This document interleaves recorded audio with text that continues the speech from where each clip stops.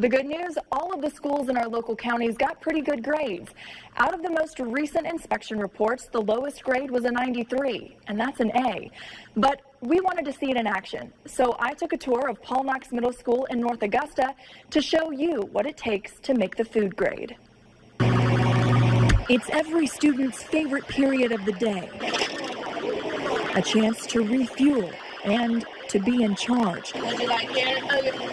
Choosing to have one of these and maybe a little of that. And while they eat, they talk. Without fear of being shushed until the bell rings. And they all filter back to class. But when it's quiet out here, that's when the kitchen springs to action.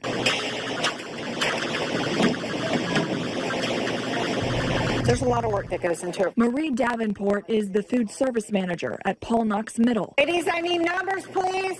She showed us what happens behind the serving lines. Everything looks very neat. Yes, it's all about presentation. Every tray, entree, and serving spoon has a home with a very particular set of rules like temperature. This has to be kept at at least 135 or higher, the hot.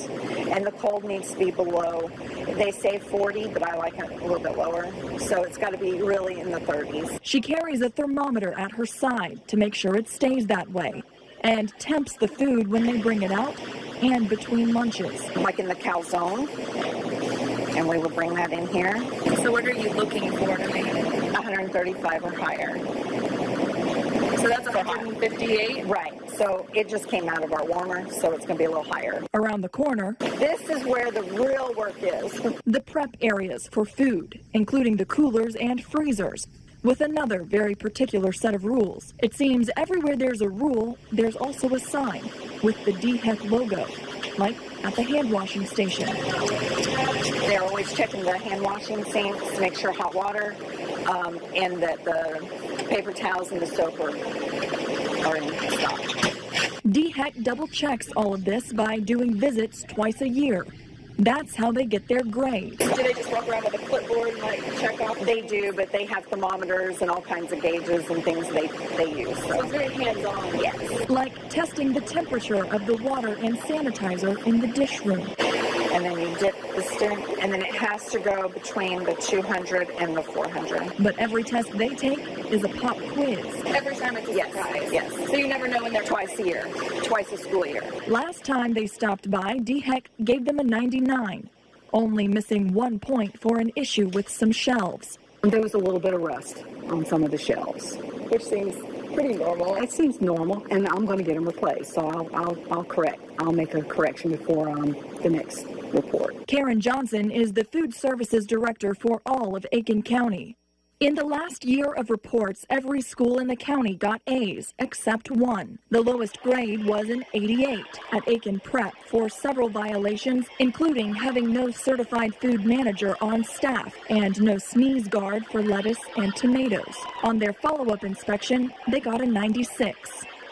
The next lowest score was a 95 at Chukker Creek and Clearwater Elementary for three violations each. The inspector noticed chicken not cooled properly, some containers being stored on the floor, and a dead roach inside a drawer that was not used for food. But on a follow-up inspection just days later, each school scored 100. You got to stay on point every day. hmm So we got to keep it safe. They are in a high risk population because of their age. Their immune system hasn't fully developed, and so that puts them at risk. So we have to make sure that um, that food is safe when we're serving. And these carefree kids, they have eyes too. Kids are kind of critical the older they get because they'll even look at the dates on the milk. Forget about DHEC, it's the kids you got Right, right, right. Food for thought the next time your student goes through the lunch line. I'm sure as a parent you don't know anything about kids being picky, do you? Is Ella picky? No, no, not at all. Well, if you're sitting at home wondering what your school's grade is, I've compiled grades from the last year for every local South Carolina school.